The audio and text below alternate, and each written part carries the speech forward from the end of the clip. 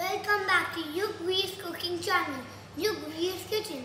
You might notice I didn't put up a video last week because I was on holiday and forget. It was a great time, but I'm back today. So let's see what we're making. I I think you all tasted a sneak about one point of your life, but you know my mother, she doesn't allow me to eat so many sweets, so I had to come for a healthy option, but it tastes like a Snicker bar. So I used a banana. So here's what we need. Of course we need a banana. We need salted peanuts, cooking chocolate, peanut butter, and some skewers. So let's get started. First I'm going to take my banana and I'm going to cut it like small bites of the pieces. You can peel it first, but I don't want to peel it first. I want to cut it and then peel it. So now I'm going to peel my banana.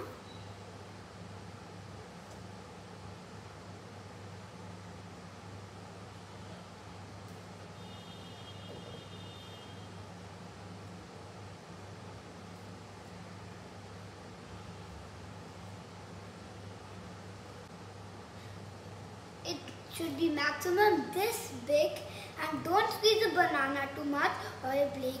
Next I'm to take this skewer and put it in the banana.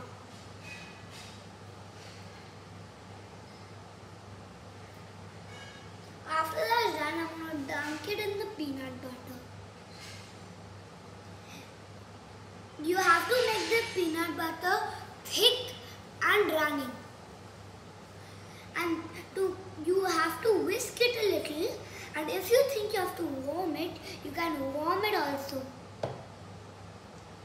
Once this is done, I'm going to roll it carefully in the salted peanut.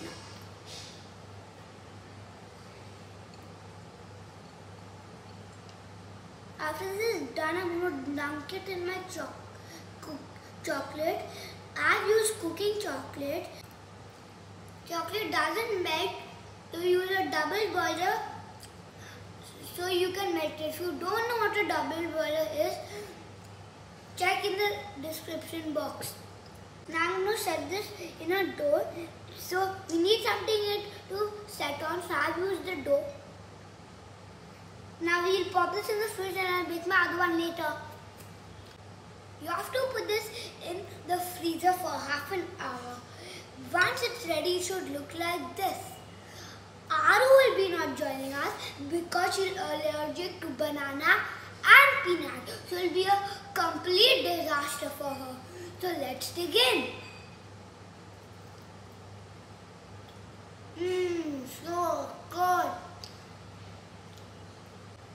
It tastes just like the Snicker bar but only healthier. For more recipes coming up every Saturday, subscribe to my channel Yugvir's Kitchen. Bye. See you next time.